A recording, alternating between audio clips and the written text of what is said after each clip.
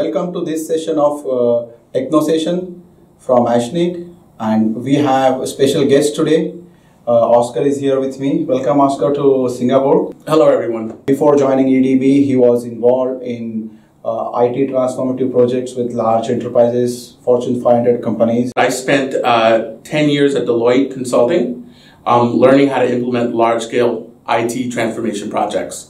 Uh, we were, in that time, we were the client server um, consulting firm uh, for large scale implementations. My first major project, um, I say I built the first client server application that went into space because we used Hughes Satellite Networks as our back end networking backbone. From there, I went and started my own professional services firm ran that for 18 years. And then um, my good friend Ed Boyajian, who I think has been on your session before, called me up and was looking to um, elevate his consulting arm within um, Enterprise DB and asked me to join and come help me help him really bring uh, EDB to a web scale um, environment. So I've spent the last two years growing and changing um, advanced um, server and helping uh, enterprise DB customers bring advanced server to both cloud, um, private clouds, and VMs around the globe for global 2000 companies. So what we are going to talk today is how open source is really scaling out. The reason is what we see customers are no more asking questions about why open source. They are asking how I adopt open source for my enterprise needs. But the real next question, what Oscar says, is not just about how, but how much and how far you can go with uh, open source technology, especially with Postgres database. And that is what we are going to cover today. So let me ask the most important questions that customers have on their mind today. Why containers? The reason I what, what we see customers are so much used to using virtualization, VMs, many customers have just completed their projects on moving their data center to VMs. And now here we go and talk about containers. I know you are very passionate about it, so just want to understand. Sure. Um, I actually, interestingly enough, I see containers not so much as a technology adoption, but it's a uh, business transformation that is really being adopted by two parts of the business, which have really never happened before in IT. The first one, it's coming out of the CFOs. IT um, companies and enterprises globally have spent the last 10 years investing in VMware virtual machines, virtualization. Uh, so they now have this huge portfolio of hardware to support that, and CFOs are looking for ways to better improve um, their utilization. Hence, containers, Kubernetes, OpenShift gives them the ability to create density around their existing infrastructure. The second group is architects. Why? You would think architects are making decisions based on technology, but it's really not. It's about governance and compliance. What containers give the architects is the ability to wrap governing principles around what's deployed in the Kubernetes environment, policies, and, and compliance uh, code in order to ensure for secure and scalable applications. So in short, you are saying even if you introduce, you have to introduce containers, you're not going to replace or your, your investment in VM is not going to go waste and customers don't have to worry yeah. about. It's not a replacement strategy. It is an enhancement strategy. It's how to take your v, your, let's say 100 VMs, which today you run 100 applications on and create an environment where you can run a thousand applications on it without having to change your underlying infrastructure. But the next big thing that customers ask most of the time, hey, you guys talk about database. And is it a good strategy to have database on containers? That's a great question. So if you would have asked me a year ago, um, I would probably have said, no, leave your databases on virtual machines. Why? Uh, because a year ago, the maturity of what we now believe is the right way to implement containers, which is stateful um, sets within Kubernetes, uh, persistent storage within uh, Docker, Kubernetes, OpenShift. They hadn't matured. Now they're in the mainstream. They have been out for four or five releases.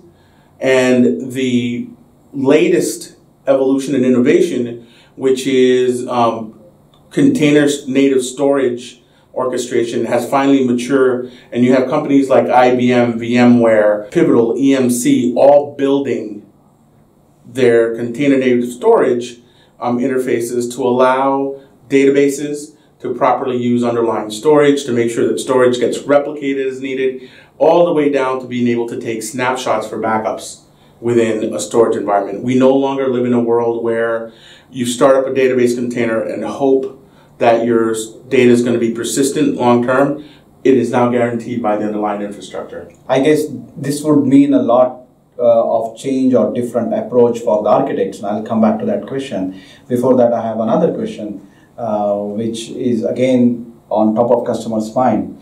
Uh, there's a lot being talked about database as a service. Mm-hmm. There are early adopters. There are customers who are uh, using as experimentation. Developers are using RDS and things like that. But customers are now asking this question or actually keeping an eye is database as a service for production environment is it real it depends on your enterprise what we find is that enterprises that are looking for control uh, so um, services like rds services like azure database don't give the customer that control because they need to give the customer um, service uptimes and slas so they don't want to give a customer that kind of control can you run databases on EC2 instances or Azure instances? Absolutely. But those are customer controlled and not necessarily falling into the RDS world. It gives you the ability to put your, your production database in an environment where you don't own the infrastructure that lets you scale as needed.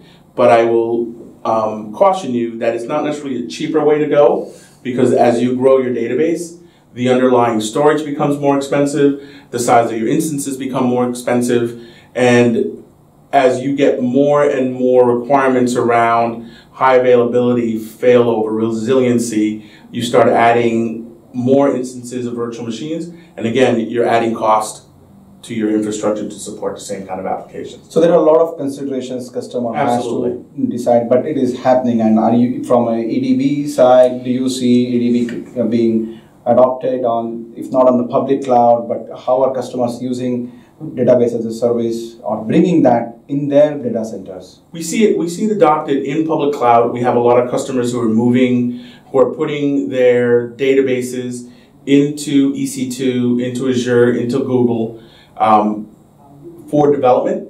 It, it's a good fit. Um, use RDS for initial development and use us for testing. It's a great fit because you can spin up, spin down uh, instances without a problem. We're beginning to see more and more adoption um, in private clouds mm. in a couple of different forms, both in a container form and in your traditional VM private clouds. Our largest customer has deployed close to 4,000 databases in their own private cloud across three data centers. So we see it, for us, the question isn't are customers moving their databases to, to DBaaS or, uh, or PaaS or infrastructure as a service. Um, for us, it's a, it's a question of what methodology are they picking, what do they want to do, and how are they going to do it and when. So we don't see it as something that's coming in the future. Future, we see it as something that is here now. Already there. Okay. So you talked initially about when we talked about containers, lot of things to be architected. You need to look at things differently right? Even on the cloud mm-hmm. side. So does that mean that the solution architects or enterprise architects they have to start thinking about this whole landscape very differently? What are the demands on their skills? It's, so we see we've seen that role change considerably, especially as we talk about cloud and containers. When I was growing up as an architect, we focused on one thing. We focused on the application architecture, the network was handled by somebody else, the database was handled by somebody else. As I've come into um, playing more and more with databases, you have these database architects, your data architects who understand data modeling, who understand um, how to structure your data, how to access your data. What we're finding today as customers move to cloud and to containers is that those architects need to understand not just their subject matter under databases or network, but they need to understand the entire stack. These solutions are entire stack focused, um, and they get more complicated. What do I mean by that? Containers, for example, makes things simpler for a developer, for the operations uh, people. But the infrastructure to support a container in production is highly complex and needs real expertise and architects who understand the stack top to bottom. So there is a lot of demand on architects' skills, and they have to relook at those things. And that also then brings me to another set of role that we deal with, and that's the DBA role. Mm-hmm. There is, I would say, a lot of anxiety I get to hear about from DBAs as to when you are talking about uh, DBaaS surveys. When you talk about the typical uh, tasks that DBAs do get getting automated, what is going to be the DBA role in the new world? That's an interesting question, and I have a lot of friends who are DBAs. I think the, the DBA role as we move forward changes considerably. In, in, in database as a service, in containers, the DBA, as we know it, doesn't actually have the ability to log into a container or log into a AWS EC2 instance um, because by policy they're not allowed. So the DBA who used to have to performance tune a database, who would have to performance tune the storage for that database, those roles and those tasks are no longer part of their job. They're more, much more application focused. They're more access focused. How do I write that SQL statement um, in order to make sure that my database continues to perform? So the role hasn't disappeared. It's just evolving, and I think it's an evolution that we see. Um, we've seen before, and it's cyclical. We go from managing hands-on your database to being application focused. We're now in a cycle of application focused. DBAs are around data models and how to access your data. I, I hear that, and that is what we have these conversations with the DBAs most of the time. So that was a very interesting insight, uh, Oscar. Uh, I wish we could talk a little more about uh, these trends. Uh, but I think thank you for uh, these insights. Thank you so much. Thank you.